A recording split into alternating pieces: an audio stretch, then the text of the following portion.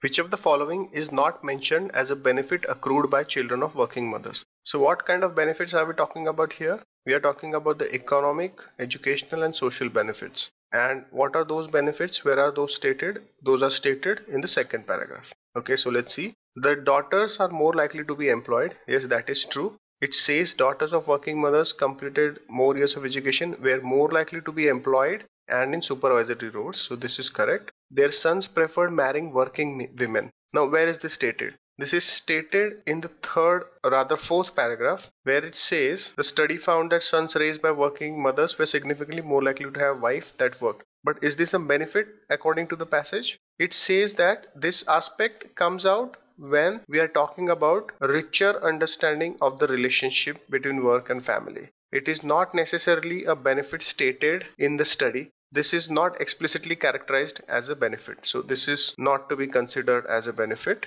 And the third one, their sons spend more time on household activities. Yes, this is explicitly stated as a benefit. Sons of working mothers did spend more time on childcare and household. So second is not mentioned as a benefit. So the answer is B.